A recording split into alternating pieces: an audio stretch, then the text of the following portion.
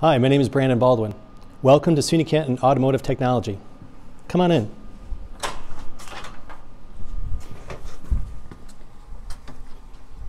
Inside you'll see that we have a spacious lab with lots of room. We also have uh, over here, you'll see we have a variety of different engines that we have uh, from different manufacturers that the students get to work on. In fact, in a lot of our labs, if the student wants to work on one of our products, so say for instance an engine or a transmission, uh, they can work on ours first. They can screw up and then work on their own if they wish. Come on, come on over here.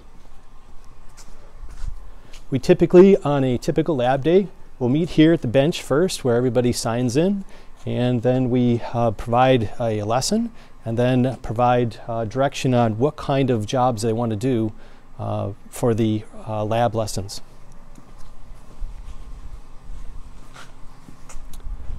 Over here and bringing it to this. So that way, uh, I want to mention that uh, we were the first uh, in the Northeast to get Snap-on diagnostic certification training. And uh, this, so this is from the first generation, which is full uh, completely of electronics. As you probably see behind me, we've got a bunch of diesel engines.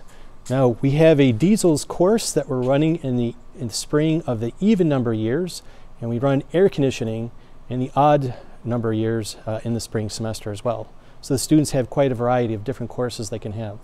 In fact, I think I should mention as we're walking that the courses that, are, that go on here, the students have so much flexibility with what they're doing here that uh, they can tailor their non-automotive courses to be to go towards what they want to do.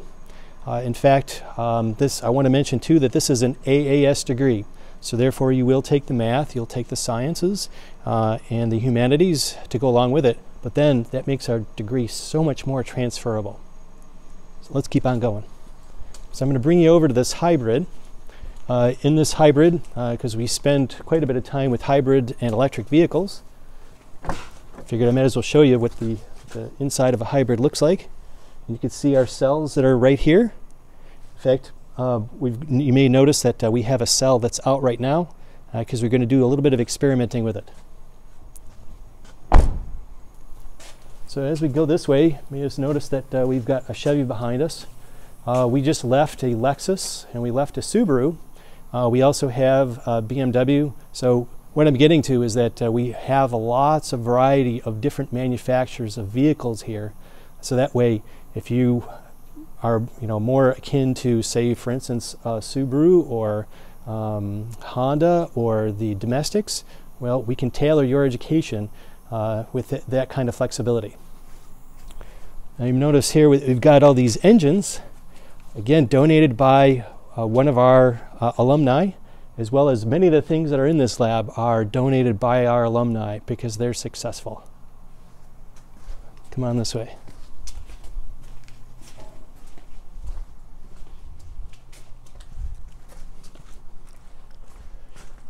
Over here, I wanted to show you that uh, uh, in this toolbox, because I've got this is the for the latest for Snap-on Diagnostics.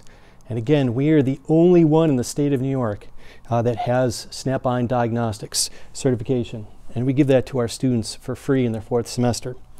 So you may, ex may expect that in a uh, box like this, you might see a whole bunch of uh, shiny tools, but in fact, this is 100% electronics.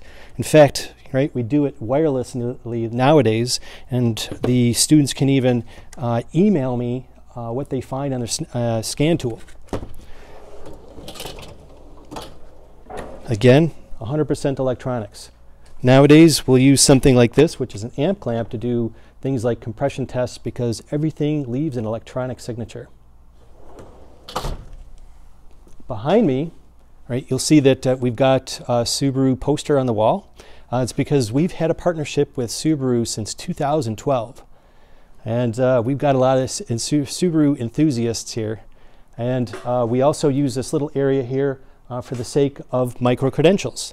Uh, each of our students has so many micro-credentials, whether it be Snap-on meters or Snap-on diagnostics.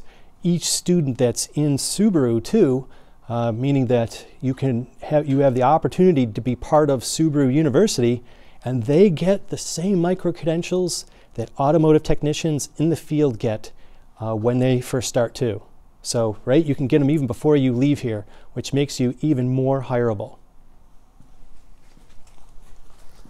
Behind us, right, you'll see that we've got an all-wheel drive dynamometer, which means that uh, we can uh, reproduce drivability concerns uh, and we could do it over and over again.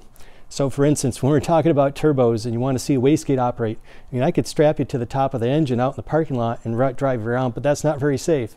So therefore, right, right here, students can simply stand here. I can reproduce the same thing over and over again. Uh, for those that may know this kind of car, I may have noticed that we've performed a few modifications on it.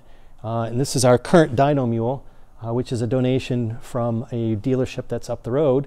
And again, from one of our alumni. To this side, you'll see that we've got the stu student toolboxes because each student has their own set of the shiny toolboxes. But I want to mention that we have so many scan tools. We have enough scan tools for every student in the program. We have enough cars for every student in the program too. So if you want to work by yourself, you can. You have that flexibility. Come on this way.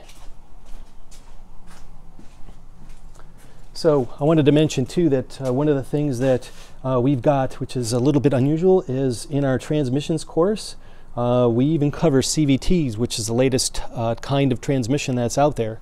And uh, th with this one, we have a cutaway, and uh, we can operate it pneumatically, so you can really see how a transmission works.